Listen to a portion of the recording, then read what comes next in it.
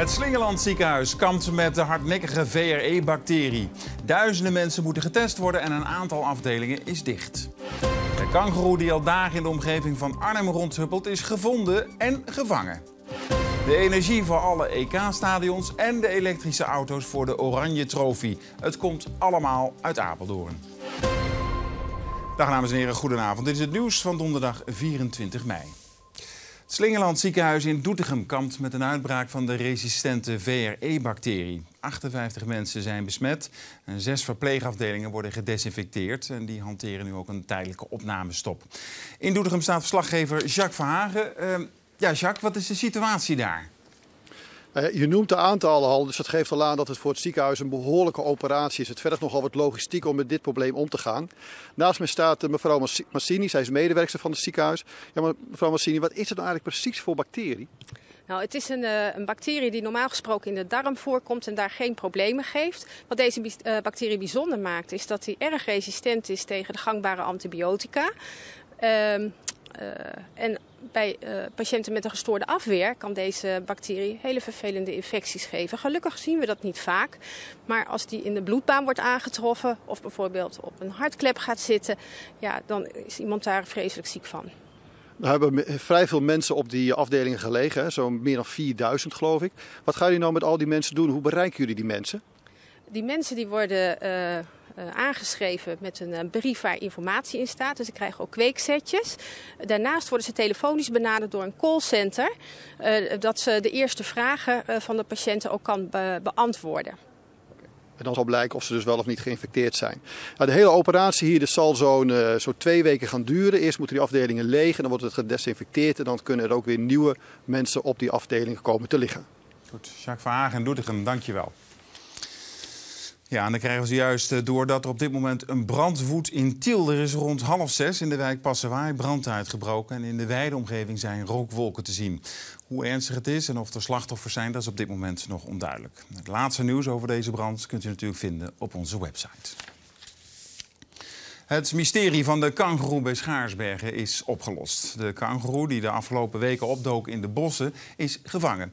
Het dier werd vanmiddag vlakbij Schaarsbergen verdoofd... nadat hij vanochtend opdook in de achtertuin van Corine van Os. Nou, mijn man schoof de gordijnen open en hij zegt... moet je nu dan toch eens kijken, een kangoeroe. En eigenlijk sliep ik nog een beetje, maar dan ben je in één keer wakker en daar zat hij. Hij zat gewoon bij ons op het gazon. Hij is nu net naar het... Uh het weiland hierachter naartoe gegaan. En inderdaad, daar zit hij. Kom maar. Het springende beestje verschuilt zich in het hoge gras en laat zich niet makkelijk vangen. Ook als Corine het met brood probeert, blijkt het onmogelijk om deze kleine kangeroe, ook wel een wallaby genoemd, te vatten. En als je dichterbij komt, dan begint hij te grommen. Hij is snel en voor je het weet is hij zo een eind weg. Hij legt hele stukken af, want vanmorgen was hij de oprijlaan al afgegaan. Dus wil hij toch weer op weg naar het bos. En ja, dat is voor het diertje zelf natuurlijk niet het, het allerbeste. En dus wordt de gemeente ingeschakeld. Maar ook experts en een dierenarts van Burgersoe komen de jacht op het beestje openen. Nou, hiernaast zit net een snelweg. Nou, daar wil je hem al helemaal niet op hebben. Dus, uh, en we willen eigenlijk geen risico hebben. Kijk, het is al, uh, we zijn al blij dat hij nu alweer gespot is. Dus uh, nou ja, dan moeten we maar kijken. En dan is het een kwestie van heel rustig benaderen. Was dat raak? Ja, je kunt zien, hè? het pijltje zit erin. De kangoeroe wordt in een speciale bus van Burgersoe opgeborgen en overgebracht naar de kinderboerderij in Prezekaaf. Nou, daar ligt hij dan in het natuurcentrum Arnhem. Hij kan niet bijkomen van zijn avonturen op de Veluwe. En sinds dit kangoeroetje uh, anderhalve week terug door ons gefilmd is bij Schaarsbergen, heeft hij heel veel commotie veroorzaakt. Heel veel mensen gingen op zoek naar deze kangoeroe en er werden zelfs Tweede Kamervragen over gesteld. En bij Omroep Gelderland meldde zich spontaan een nieuw adres voor dit beestje waar hij morgen naartoe gaat. Een felle zon en strak blauwe lucht. Het was een stralende dag vandaag. En hoe anders was het een etmaal geleden. Noodweer van gisteravond had vandaag zijn naweeën. Zoals in Ede, waar de schade werd opgemaakt. Zo hard als het water met bakken uit de hemel kwam, zo snel wordt het water weggepompt uit de appartementen aan de Leeuwenhorst in Ede. Want hier zorgt het water voor behoorlijke overlast. Schuren, parkeergarage, liftschacht. Alles te blij. We staan gewoon zo laag water. En dat is niet verwonderlijk, want in Ede viel binnen korte tijd maar liefst 40 mm regen. Ook bij een ander appartementencomplex in de buurt liep de parkeergarage onder en bleef de lift niet droog. En hier in Dingsbelo en Groesbeek was er geen houden aan.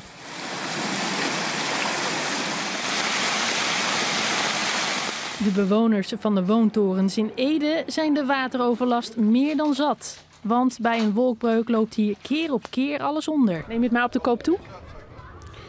Ja, ik moet wel. Want ik kan wel klachten blijven indienen en het regent klachten. Maar veel wordt er niet aan gedaan. Het probleem is de waterafvoer van het nieuwbouwcomplex. De woningbouwvereniging belooft beterschap. We zijn nu echt met man en macht uh, aan de gang in de torens uh, om alles droog te krijgen. De echte oplossing moet dus nog gezocht worden. En tot die tijd is het hopen op mooi weer. Van BSO naar school en van school naar BSO. Heel wat kinderen moeten van hot naar her rijden. Kinderopvang en scholen moeten beter op elkaar aansluiten. En daarom is het ministerie van Sociale Zaken een landelijke proef begonnen. De gemeenten Wiegen en Nijmegen doen mee. Op de dagen dat papa en mama werken gaan Thomas en Nicky van juf tot juf. Ik heb vandaag had ik juffrouw Anita. Nou, wij blijven wel over, alleen dat doen we dan in een andere klas.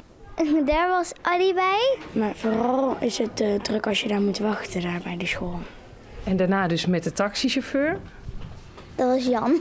Voor school een juf. Tijdens school een... Oh, een vader. Vandaag was er een vader.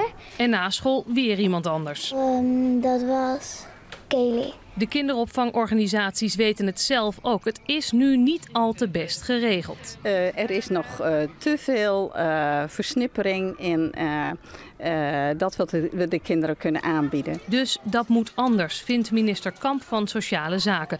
Omwille van de kinderen, natuurlijk, maar vooral omdat hij die moeders zo aan het werk of meer aan het werk hoopt te krijgen. De vaak moeizame combinatie van werk, zorg en andere taken is hiervoor een belangrijk struikelblok. Onderwijs en kinderopvang kunnen overal beter samenwerken. Wiegen en Nijmegen zijn samen met het Noord-Hollandse Zaanstad door de minister uitgekozen voor de proef. En die proef kan heel wat verandering teweeg brengen. Ik denk dat we hiermee een stap zetten op weg uh, naar een uh, ander systeem van onderwijs en opvang. Ten behoeve van een goede ontwikkeling van kinderen. Maar vandaag was voor Nicky de dag vooral nog iets drukker dan normaal. Toen ging ik naar de taxi, toen ging ik hier en uh, toen mocht ik dit interview houden. Over enkele weken dan is het zover. Dan barst het EK los in Oekraïne en Polen. In Apeldoorn kleurt het al een beetje oranje. Want daar zit namelijk de hofleverancier van de energie voor in de EK-stadions. Maar ook voor de elektrische auto's van de Oranje Trofee. Binnenkort vertrekt de Oranje Trophy met veel Gelderse deelnemers richting het EK in Oekraïne en Polen. Voor het eerst gaan er ook vijf volledig elektrische auto's mee als onderdeel van de stoet. Dit is nog nooit gedaan in de, de geschiedenis. Nou, daar houden wij van, Hollanders, hè? altijd bijzondere dingen doen. De route voert de kolonne door heel Oost-Europa. Een tocht van ruim 15.000 kilometer. Niet overal staan elektrische oplaadpalen en dus wordt de energie geleverd door een Apeldoorns bedrijf dat ook de stadions tijdens het EK van stroom voorziet. Ondanks dat ze die grote order binnen hebben, zijn ze ook heel blij met deze klus. En wij zijn uh, gelukkig de leverancier geworden van Oranje Trophy. En wij mogen de elektrische auto's tijdens de Oranje Trophy elke avond opladen. De auto's worden s'avonds opgeladen aan een grote vrachtwagen volgepakt met aggregaten. Die vrachtwagen zelf is nog niet zo milieuvriendelijk. Maar dit is wat we tot op heden kunnen doen. En uh, ja, ik, ik geloof heel erg in uh, dat, dat al die ontwikkelingen zich voortbewegen. En dat we over een tijdje niet alleen met hybride op gas, diesel, benzine, maar ook gewoon met elektrische auto's de hele wereld over kunnen. De familie Snaak uit Nijkerk rijdt ook een gedeelte mee met de karavaan. Alle deelnemers uit de tocht kunnen ook naar alle wedstrijden toe, maar dan moet je wel de juiste etappe rijden. Ik kom pas in Kiev uh, bij de tweede etappe. En dan rijd ik uh, via Kiev uh, door Moskou naar de Noordkaap. Dus je mist het EK en de Olympische Spelen? Ja, maar ik heb gewoon een televisie thuis hoor. de tocht duurt in totaal zes weken. Eindbestemming is Londen, waar de Olympische Spelen ook in het teken staan van duurzaamheid. Orca Morgan verkeert in blakende gezondheid op Tenerife. Maar zijn verzorgers vermoeden wel dat hij doof is. Straks meer. Agenten moeten zwaardere kogels krijgen. Dat zegt korpschef Van Zwam van de politie regio Gelderland-Zuid. U ziet hem hier op archief in Dagblad De Gelderlander. Van Zwam doet de uitspraken nadat twee agenten van zijn korps niet vervolgd worden... omdat ze in 2010 een man in Nijmegen doodschoten. De agenten hadden acht kogels nodig om de man te stoppen. Het Openluchtmuseum is gekozen tot het leukste uitje van Gelderland. Dat heeft de AWB bekendgemaakt. AWB-leden konden via de site stemmen. In Gelderland waren ook de Apenhul en familiepark Koningin Juliana-toren in Apeldoorn genomineerd. Het leukste uitje van Nederland is Mini World in Rotterdam. Zakenman John Deus uit Bergendal en zijn zus Tineke zijn veroordeeld tot een boete van ruim 300.000 euro en zes maanden voorwaardelijke celstraf. De rechtbank acht bewezen dat zij zonder vergunning bankierden, maar niet dat zij een criminele organisatie vormden. Zutphen is vandaag het decor van opnames voor de dramaserie Gereden Twijfel. In de serie houdt een professor met zijn studenten criminologie oude misdaadzaken tegen het licht. Het zijn bestaande zaken, waar ook een Gelderse, waaronder ook een Gelderse zaak. De Warnsveldse pompmoord uit 2004. De serie is vanaf september bij Omroep Gelderland te zien. De brandweer van Harderwijk heeft zojuist burgemeester John Berends de grens overgezet naar Apeldoorn. Ze nemen zo op ludieke wijze afscheid van Berends, die zeven jaar burgervader van Harderwijk was. Vanavond wordt hij in Apeldoorn tot burgemeester beëdigd. Welke schapen mogen meedoen aan de protesttocht die morgen begint? Herder Chris Grinwis selecteert vandaag de dieren die meelopen van Epe naar Arnhem. Met de tocht, die een week duurt, wil hij aandacht vragen voor de moeilijke financiële situatie van de schaapskuddes. 400 schapen lopen mee. Voor de tweede keer heeft er brand gewoed in kasteel de Fritsenburg in Kapel Averzaat. Vorig jaar verwoestte een brand al een groot deel van het gebouw en die brand die was aangestoken. De eigenaar van de burg lag al jarenlang met de gemeente in de clinch over de bouw van zijn kasteel, maar kreeg later een vergunning. Over de oorzaak van de brand is nog niets bekend.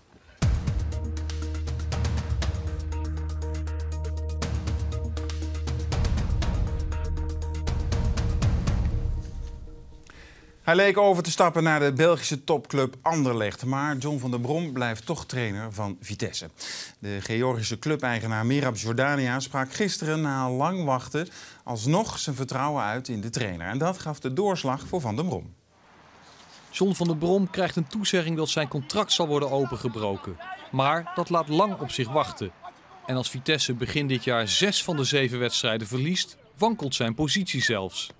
De Georgische eigenaar Merab Jordania laat niets van zich horen. En Van der Brom dwingt uiteindelijk contractverlenging af via een clausule. Omdat hij zich plaatst voor de play-offs om Europees voetbal. Dan komt de belangstelling van het Belgische Anderlecht. Anderlecht is kennelijk geïnteresseerd in onze trainer. We are on a good way and uh, we have to keep the trainer. Fantastische trainer voor ons, voor de spelers. Dus het lijkt mij eerlijk gezegd onbespreekbaar. Alleen Jordania zwijgt in alle toonaarden. Vervolgens voldoet Van de Brom aan de doelstelling van de Georgië door Europees voetbal binnen te halen met Vitesse. En uiteindelijk spreekt Jordania dan zijn vertrouwen uit in John van der Brom, waardoor hij trainer blijft van Vitesse.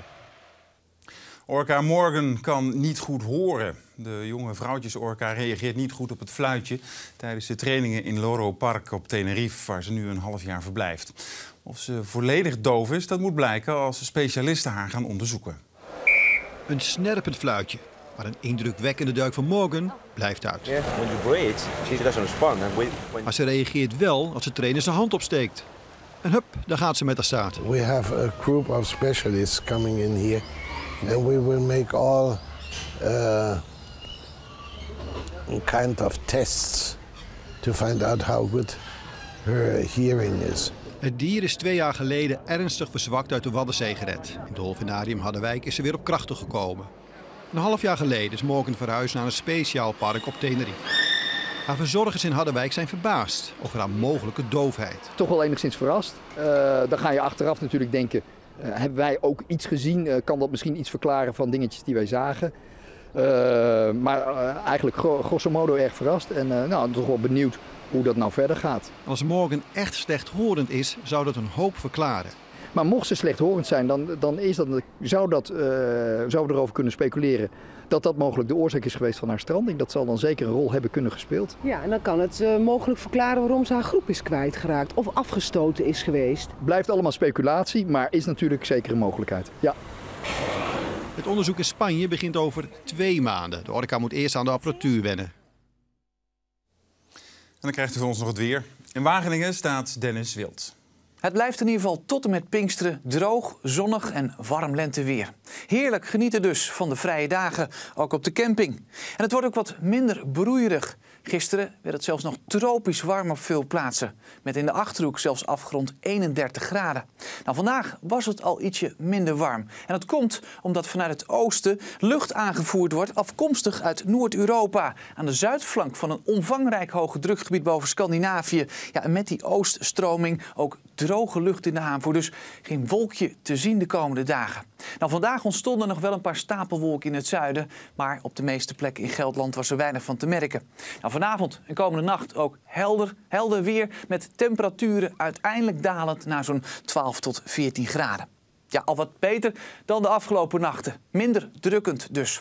En de wind die blijft een beetje doorwaaien uit het noordoosten.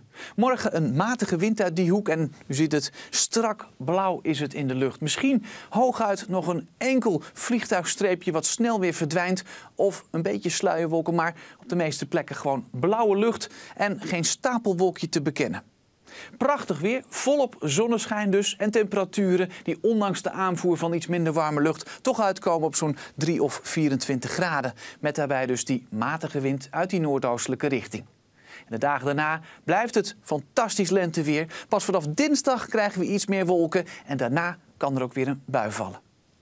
En dit was het, het nieuws van donderdag 24 mei, waarin u onder meer zag dat het Slingerland ziekenhuis kampt met een hardnekkige bacterie. En om verspreiding te voorkomen zijn verschillende afdelingen gesloten en worden duizenden mensen getest. En dat de kangoeroe die dagen in de omgeving van Arnhem rondhuppelde weer is opgedoken en hij is inmiddels gevangen ook. Ik wens u nog een fijne avond.